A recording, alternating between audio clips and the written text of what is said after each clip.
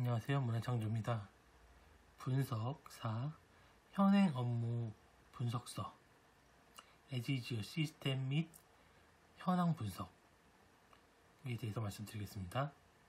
해당 내용은 개요, 그 현행 업무 분장표, 현행 업무 흐름도, 현행 웹사이트 구조도, 현행 웹사이트 구성도, 문제점 및 개선 사항 등으로 상세히 분석 기술합니다.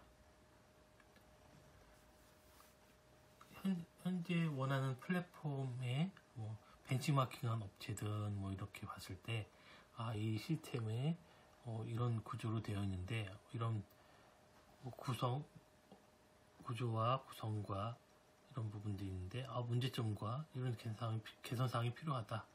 그래서 우리는 뭐 플랫폼 구축할 때에 이런 부분들을 다 통합해서 개선사항을 마련한 어떤 것으로 하자. 그래서 현행 업무에 대한 분석서는 그렇게 작성하면 되겠습니다.